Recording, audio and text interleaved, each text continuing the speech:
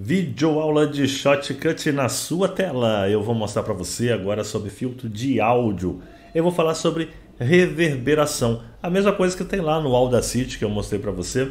Eu vou mostrar como utilizar aqui a reverberação. Veja aqui um áudio que eu tenho de um tutorial, apenas um trechinho, veja só. Tanto no Excel quanto no Word, no...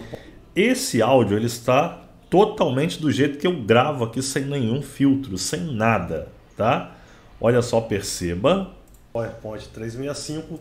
E aqui nós vamos utilizar a reverberação dentro do Shotcut. Então eu vou aqui em filtros, vai aparecer para você um sinalzinho de mais, tá? O meu aqui não está aparecendo, acho que bugou aqui o, o Shotcut, tem hora que não aparece. Aí você vai clicar, tá? Aí você vai clicar e vai entrar na parte de filtros. Entrando aqui em filtros, você vai ter favoritos, vídeo, áudio. Eu vou clicar em filtro de áudio. E aqui eu vou ter diversas opções para poder configurar é, o meu áudio. Claro que não é um editor de áudio. Ele tem muita coisa legal que dá para você fazer por aqui, tá bom? Se você quiser algo mais profissional, você vai ter que utilizar um editor de áudio. Mas dá para você melhorar.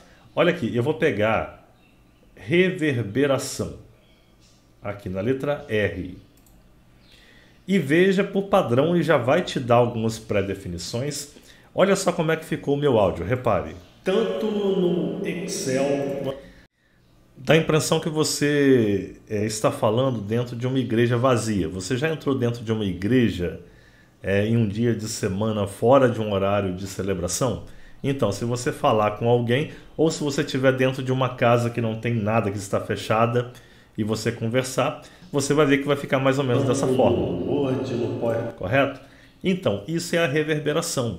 E você pode mudar. Olha aqui, eu vou deixar rodando aqui e vou alterar tamanho do cômodo para você ver.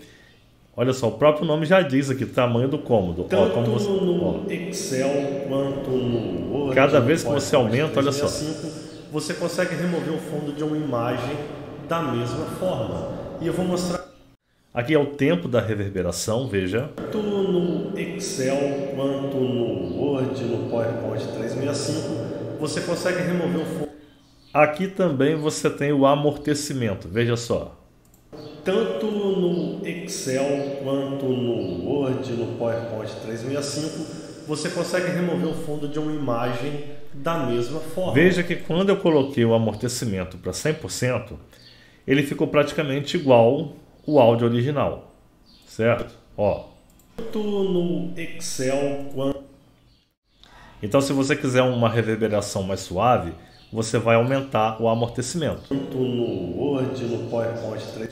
Olha só, eu vou colocar aqui 80% para você ver, ó no Word, no PowerPoint 365. Tá vendo? Agora você vê que deu apenas um pequeno detalhe. E aí você vai alterar aqui Tanto tudo. No Excel quanto no Word, no PowerPoint 365, você consegue remover o fundo de uma imagem da mesma forma. E aqui você vai ter também outras opções para você configurar, ó. Essa outra largura de banda Tanto de entrada. Tanto no Excel quanto no Word, no PowerPoint. Essa outra opçãozinha aqui também. Essa aqui eu mexi, eu vou voltar para o padrão, não gostei. Excel, tá bom? Eu vou aqui. Então, aí você vai configurando todas essas barrinhas. Não gostou, você volta, clica na seta para você voltar para o padrão. Excel quanto no Word, no PowerPoint. Então isso pode ser bacana, por exemplo, você está fazendo você está fazendo um vídeo que você está lendo uma mensagem, vamos dizer. Então você colocar um pouquinho de reverberação sem exagerar pode ficar legal, dar um efeito bacana no seu vídeo, no seu áudio.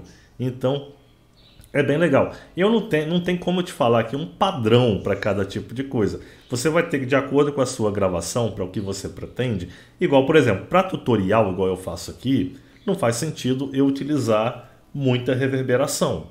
Mas se, por exemplo, se você está, igual eu falei, você está fazendo um lendo um texto bíblico, você pode colocar um pouquinho mais. Fica mais legal você fazer tipo essa, essa, esse efeito que parece que você está dentro de uma igreja. Então a reverberação pode ser muito útil aí para dependendo do que você pretende fazer. Muito obrigado por você ter assistido a esse vídeo. Não se esqueça, se inscrever.